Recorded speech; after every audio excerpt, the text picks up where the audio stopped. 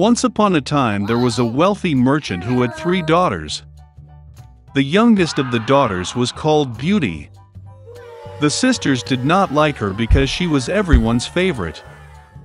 One day the father was going to go to the city and asked his daughters what to bring as a gift. The older sisters asked for precious dresses and adornments, and the youngest asked for a scarlet rose, the most beautiful in the world. The merchant became thoughtful, but promised that he would do everything possible to find such a flower. And hit the road. The father quickly found gifts for the eldest daughters, but for the youngest he could not hmm. find them.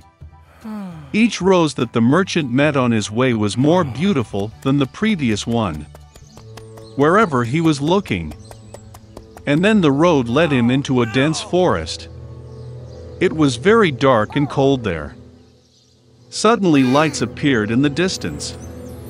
Approaching, the merchant saw a huge ancient castle, all in gold and diamonds. Entering its gate, he entered a hall full of jewels. He saw that there was a table in the middle of the hall, and there were no dishes on it, and all the dishes were made of silver and gold. Hmm. But the castle was empty, there was no one. The merchant thought that the owner would probably come any minute. He waited an hour, two, three, no one showed up. The merchant could not resist and sat down at the table. Having eaten from the belly, the old man hit the road. Driving along the alley, the merchant saw a rose bush of unprecedented beauty and remembered the request of his youngest daughter. He drove up and picked the most beautiful rose. At the same moment, lightning flashed, thunder struck, there was a roar, and rose, as if out of the ground, in front of the merchant, and not a beast or a man, but some kind of monster, terrible and furry. It was too angry that the merchant picked his favorite flower instead of thanking the owner for his hospitality. The old man was very frightened and said that he would do anything, as long as he did not kill him. For such an offense, the beast agreed to marry one of his daughters. But only the one who wants to come herself, out of love for her father. And if none comes, then death to the merchant. The old man was grieving and decided to go home to say goodbye to his daughters. He did not want to give up any of them for a fierce beast. I got on my horse and went home. Having met the children, he gave gifts to everyone and told about his adventures. The older sisters pounced on the younger, they say, it was her fault she ordered a lousy flower, for which the father now has to pay with his life.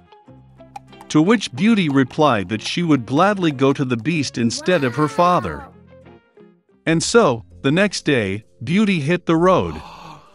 The horse quickly found its way back to the castle. Entering the hall, she found a table with exquisite wines and food. Beauty thought that the beast wanted to eat her, so she feeds her. As soon as she had dinner, there was a roar, and a terrible and hairy monster appeared, as if from under the ground. And the beast said to Beauty that since she herself came here of her own free will, it means that she has a good heart. And so the monster will also be kind to her. And with these words, the beast disappeared. Waking up in the morning, Beauty decided to take a walk entering one of the rooms. She saw an inscription on the table Whatever the beauty wishes, I will do. The girl thought that after all, the monster is kind and probably he is not going to eat it. So they lived for a long time. The beast treated Beauty very well and fulfilled all her desires. One day the girl dreamed that her father was sick. She really wanted to visit him. The beauty tearfully asked the beast to let her go and promised that she would definitely come back. The monster replied that she was free and could return whenever she wanted. The next day, Beauty put on her most expensive clothes and went to her father. He was very happy to see his daughter safe and sound. Her sisters came running and saw that she had become even more beautiful, and even dressed like a queen. A week later, Beauty had a dream that the beast was lying on the grass in the park and dying. She woke up in horror and decided to urgently return and cure him. When the girl approached the castle, she saw the lifeless body of the beast on the grass. Her heart was breaking with pity. The beauty rushed to him with tears and kissed him.